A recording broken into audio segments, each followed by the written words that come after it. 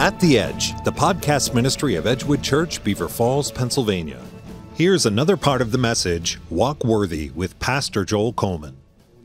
Connection with Jesus Christ, who is the head and the directing mind of the whole body. Sometimes these people use big words, so that's why I struggle. but it's good, right? God is good. I thank Jesus every day for a earthly father who has undeniably and was been unshaken in his walk with Christ. My dad has taught me and my brothers from when we were young to follow Christ, and my mom too. But she does a lot as well. They both are amazing. But seriously, this kind of love that is Christ's love, they have raised us to love that way. And it's, you know, and Pastor Mike, my dad, he loves you guys that way.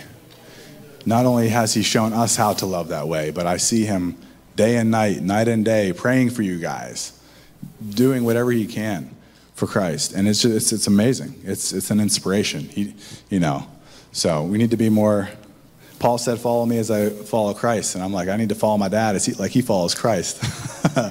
like, Dad, keep pouring into me, you know? But he loves you guys so much.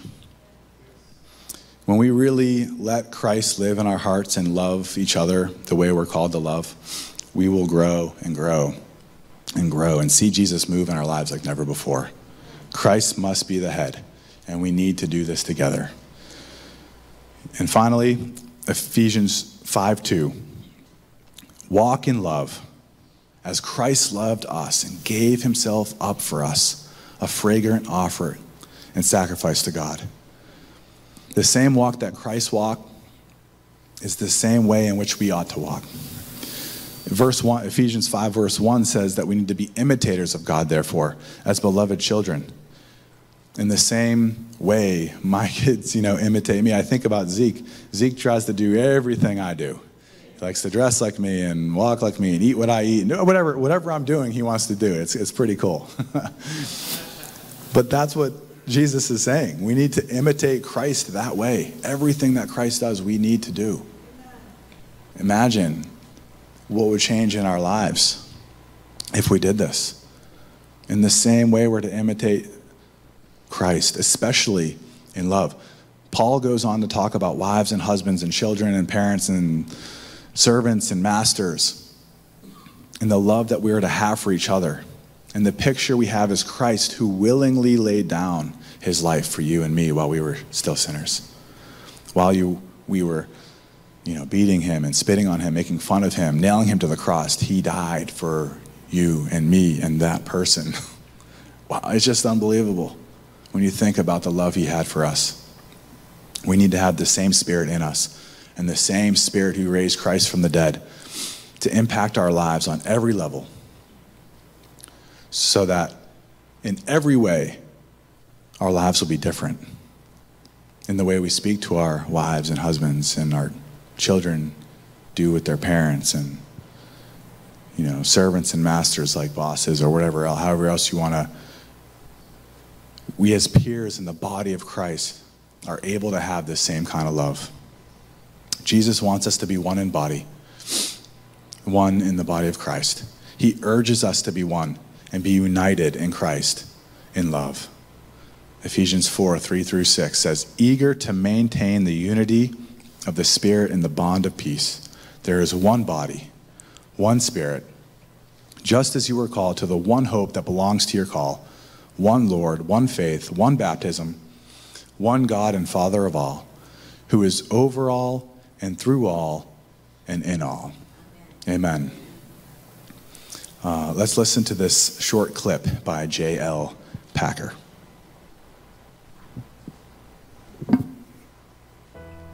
Christian unity is a matter that should be taken seriously because God takes it seriously. That's the short, short thesis that um, I put to you now. See, in, in the Bible, the Lord Jesus prays that all his disciples everywhere at all times will be one. One in their fellowship with him, one in their life together.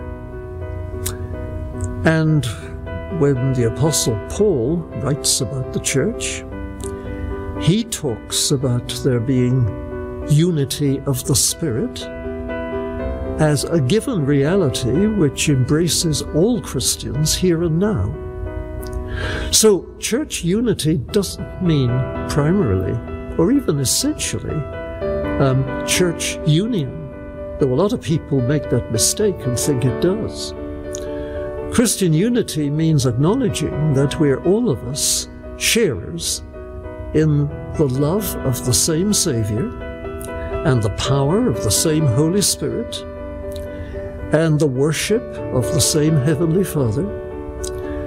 And being together in that brings us together as brothers and sisters in a single family so that all Christians straight away must see themselves as brothers, sister or sisters, and friends to every other Christian in the world.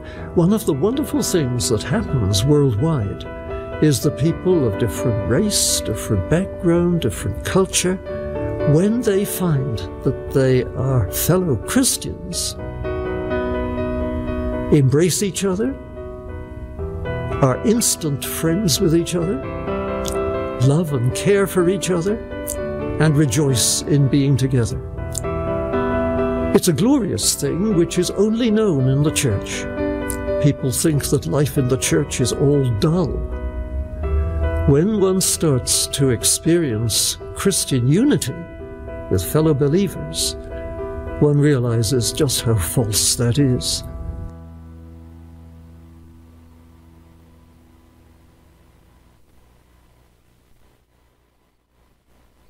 Testing one.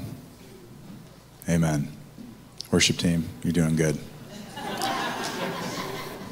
Our Christian unity is incredibly important. It's incredibly important uh, for growth in our lives, in our church, in the kingdom of God.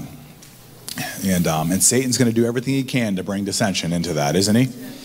But we need to stand together and we need to walk in that manner worthy of the call to which we've been called. I'd like us to do something real quick. I know it's going to be a little funny, but hey, let's everyone stand up and hold hands across the aisle if you can, and or find someone you don't know, and we're going to pray a prayer together. See, we're having fun now. This is this is unity, you know. And and when we're done this prayer, we're going to worship with the worship team, and if you want to come up, you can. If uh, but but God is good. Hey, and, and, just a quick reminder too. Next week we are having a special service, uh, and we're going to call a corporate fast, and I'm excited for that. We're going to have a couple different people speaking. It's going to be great. You don't want to miss it. And then we're going to go out in two weeks, everywhere we can, telling people about Jesus. But hey, let's pray. You guys can just repeat this after me. This is from Saint uh, Francis of Assisi. It's a prayer on unity. Lord, make me an instrument of your peace. Where there is hatred, let me sow love. Where there is injury, pardon. Where there is doubt, faith. Where there is despair, hope. Where there is darkness, light. Where there is sadness, joy. O divine Master, grant them that I may not so much seek to be consoled as to console, to be understood as to understand, to be loved as to love. For it is in giving that we receive, it is in pardoning that we are pardoned. And it is in dying that we are born to eternal life. Amen. Jesus, I just thank you and praise you, God, for your word today. I just pray that you would fill us, Lord God, that we would be more like you. Christ, we, we just want you to fill us, fill our hearts. I pray, Lord God, that you would just be that bond, Lord God, in our church, and that you, your peace would just flow. We need you today. Have your way. In Jesus' name, amen.